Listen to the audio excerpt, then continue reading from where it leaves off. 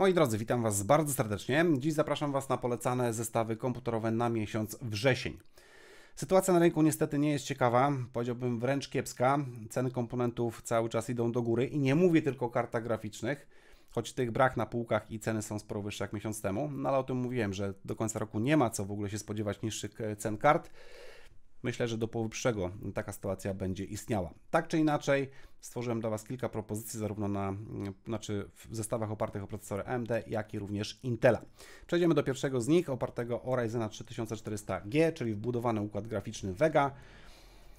Tutaj nie ma co liczyć na wodotryski, jakieś lightowe granie w gry sportowe na ustawieniach niskich lub też praca biurowa. E, jest błąd, muszę go poprawić. Zamiast tego Silentium PC Signum SG1TG wybierzcie sobie VT4TG, obudowa, która jest tańsza, a jest o wiele lepsza. Także tutaj zapomniałem tego po prostu poprawić. Ten zestaw jest bez zmian, dokładnie taki sam jak w zeszłym miesiącu. Drugi zestaw oparty o procesor AMD to e, kwota 3850 zł, Ryzen 1600 AF i karta, której nie ma, a był to GTX 1650 Super w wersji OC za niebagatela 1900 zł. Zobaczymy, czy są jakieś inne GTX 1650 Super. Wkleimy sobie tutaj. Być może coś się pojawiło w międzyczasie, ale nie sądzę. No niestety są, ale tylko zwykłe 1650 za 1700 zł, dużo. No ale jeżeli nie macie więcej kasy na kartę graficzną, no na taki wybór niestety jesteście skazani jak mówiłem, sytuacja nie jest zbyt fajna. Do tego płytka B450A Pro Max od MSI, na niej spokojnie posadzić możecie później po update'cie BIOSu Ryzena 5000. Cena bardzo atrakcyjna, bo 320 zł, 16 GB pamięci RAM, 3200 MHz CL16 mm, i dysk SSD o pojemności 500 GB Kingstona A2000 na złącze M2, czyli NVMe. Kolejny zestaw za 5200 zł, już z Ryzenem 3600, ale w wersji OM, czyli bez chłodzenia. Ja oczywiście dorzuciłem tutaj FR5, tak abyście mogli ten procesor sobie schłodzić, ewentualnie go podkręcić, spokojnie ona sobie z tym poradzi. Wersja procesora OM, czyli bez chłodzenia, kosztująca prawie tysiaka, także dużo za dużo. No ale co poradzić? Mm, do tego 16 GB pamięci RAM, 3600 MHz, CL16, zasilacz troszeczkę mocniejszy jak wcześniej, 600W, w zupełności sobie z tym zestawem poradzi, nawet na jakiś przyszły upgrade będzie mocy wystarczająco. No i do tego karta GTX 1660 Ti, która kosztuje też dużo, bo 2650 zł, za tyle można było w zeszłym miesiącu dostać RTX 2060. Niestety RTX-ów już nie kupicie, przynajmniej na chwilę obecną. Natomiast teraz tak, jeżeli mielibyście 2,5 stówy więcej, bo za chwilę przejdę do drugiego zestawu, to zamiast tego GTX 1660 Ti kupcie po prostu RX 6600 XT. Mam nadzieję, że będzie dostępny. On kosztuje, jak się nie mylę, 2900 zł. Dokładnie, 2899 zł, czyli 2,5 stówy różnicy, a wydajność o wiele lepsza. Także jak macie te 2,5 stówy w kieszeni, to po prostu do tej karty dołóżcie, pozostałe podzespoły są takie same. Gdybyście ewentualnie grali głównie w gry e, procesorowe i w rozdzielczości 1080p, bo jakby nie było ta karta w takiej, do takiej rozdzielczości właśnie jest dedykowana, no to można pomyśleć o Ryzen 5600X i jakiejś płycie B550, ale to już jest dopłata za te dwa podzespoły około 5 stówek, także sporo. Jeżeli takie pieniądze macie, no to warto o tym pomyśleć. Ale pod warunkiem mówię, jak tylko i wyłącznie gracie w gry procesorowe w 1080p. Zestaw za około 6000, dokładnie 6100 zł. Tutaj mamy też Ryzen 3600, ale kartę RTX 3060 bez dopisku TI. Ta kosztuje 3500 prawie.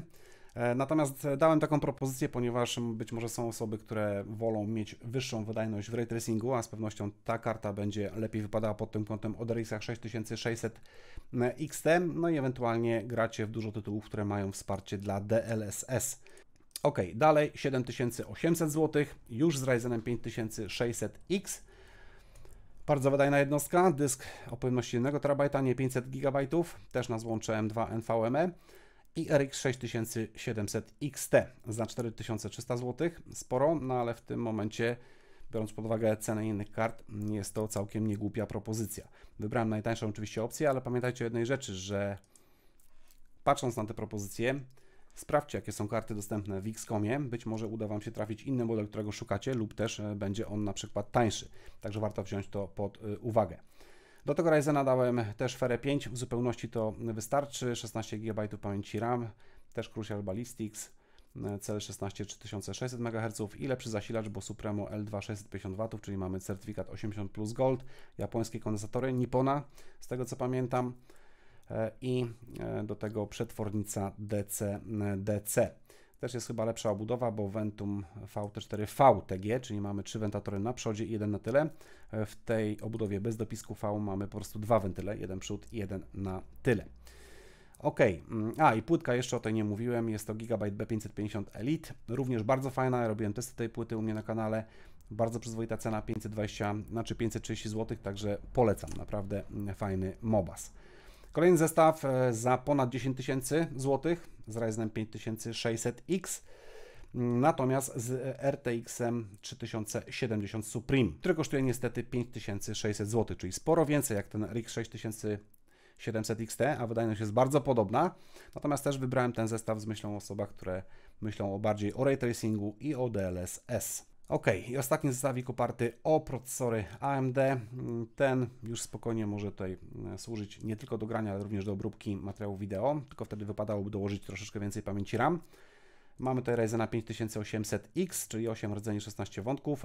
Płyta główna troszeczkę lepsza od tego Aurusa.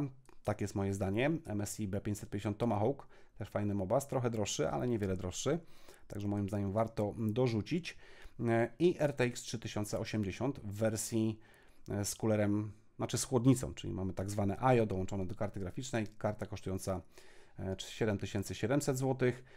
Chłodzenie na procesor to Arctic Liquid Freezer 2 240 te procki naprawdę potrafią się dość mocno grzać, także warto w WAJO zainwestować, tak jest moje zdanie. No i mamy też większą obudowę Regnum RG6 VTG, tak aby można zainstalować IO na górę, to do procesora i IO od karty graficznej naprzód e, obudowy. Skrzynka naprawdę dobrze wentylowana, no i zasilacz mamy Corsair RM 750 W 80 plus Gold. 12 030 złotych. I przechodzimy do zestawów opartych o procesory Intela. Pierwszy z nich za około 3800 zł z Intelem i3 10100F. Do tego karta, której no niestety nie ma, ta sama sytuacja co w przypadku zestawów opartych o AMD. Czyli jeżeli chcecie, to możecie ewentualnie wybrać 1650 bez dopisku Super, która kosztuje 1700 zł.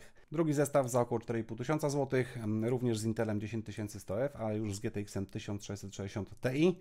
Moim zdaniem nie ma sensu, bo są dostępne e, wersje zwykłych 1660, ale są zbyt drogie i warto tą różnicę dopłacić do tej karty, która tak czy inaczej tania nie jest, bo przypomnę kosztuje 2650 zł. Mamy tutaj dysk Kingstona A2000, pojemność 500 GB NVMe na złącze M2, obudowa Silentium PC, zasilaczem też e, Silentium PC Vero L3 500 W i płyta B560M, ponieważ tutaj e, będziemy chcieli, oczywiście, czy Wy będziecie chcieli, gdybyście się na taki zestaw zdecydowali, puścić pamięci wyżej, aniżeli 2666 MHz, bo przypomnę, na B5, e, B460 takiej możliwości nie ma. Stąd też taki, a nie inny wybór, czyli płyta B560. E, trzeci zestaw już mamy Intela 10400F, moim zdaniem jeden z bardziej opłacalnych, najbardziej opłacalny procesor Intela pod gry. Do tego RX 6600 XT, no i płyta troszeczkę lepsza jak w poprzednim zestawie, bo MSI Bazooka, też B500, B560, tak aby można było pamięci ustawić wyżej. A mam tutaj RAM Cruciala taktowane 3600 MHz z opóźnieniami CL 16. Zestaw za 5900 zł, także z Intelem 10400F. I tutaj mamy kartę graficzną 3060, RTX 3060. Ponownie identyczna sytuacja jak w przypadku e, zestawów na AMD dla osób, które e, liczą bardziej na ray tracing i na DLSS. Na pozostałe podzespoły są dokładnie takie same jak w zestawie poprzednim. No niestety ten jest droższy mm, o 6 stówek ze względu na cenę karty graficznej, która kosztuje no ponad 3000, prawie 3500 złotych. Zdecydowanie za dużo. 6900 zł, Intel 10400F, a karta graficzna jest to RTX 3060 Ti 4400 zł a w tej cenie, nawet trochę niższej, można kupić już RX 6700 XT, który w rasteryzacji będzie wydajniejszy od tego RTX-a, no ale przegrywa z nim w ray tracingu, także po, po raz kolejny opcja dla osób właśnie, które jarają się ray tracingiem i tej opcji w grach używają. Ok, zestaw za 8600 zł. Tutaj mamy już 7, 10700 KF. Celowo nie brałem 11 generacji procesorów Intel, bo są za drogie po prostu. Ten procesor nie ma wprawdzie wbudowanego układu graficznego, ale ma odblokowany mnożnik, także będzie można spokojnie go podkręcić. E, płytę, jaką do tego dobrałem, to jest Asus TUF Gaming Z590+. Spokojnie możecie ocenia na niej e, wykonać. Do tego RX 6700 XT 4300 zł, czyli stówkę tańsze od tego RTX 3060 Ti.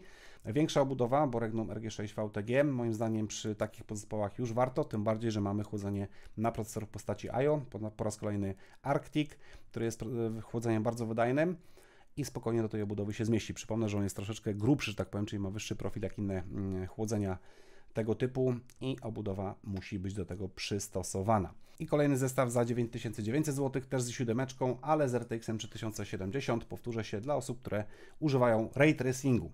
Głównie o to chodzi, no bo no, jeżeli gracie tylko i wyłącznie w rasteryzacji, nie ma sensu tak dużej różnicy w cenie dopłacać do RTX względem RX 6700 XT. I ostatni zestaw za prawie 12 tysięcy zł z RTX 3080 MSI Seahawk, czyli mamy to chłodzenie IO dorzucone do e, tej karty graficznej Mm, obudowa też jest pod to przystosowana, żebyśmy mogli posadzić IO od procesora na górę. Przypomnę, IO od karty graficznej na przód. Niestety innych 3080 nie było dostępnych, dlatego też wybrałem taką. W innym przypadku rzecz jasna wziąłbym zwykłą, no ale nie ma i nic na to nie poradzę. Pozostałe podzespoły są praktycznie identyczne jak w poprzednim zestawie. Tutaj mam różnicę chyba tylko w zasilaczu. Tym razem jest to Corsair TX750M, 750 W. Zupełności tej karty wystarczy, nie ma się czym martwić. Moi drodzy, tak wygląda moja propozycja na wrzesień. Napiszcie, co o niej sądzicie. Napiszcie, czy składacie komputer w tym roku, czy czekacie. Ode mnie tyle. Trzymajcie się. Pozdrawiam. Cześć.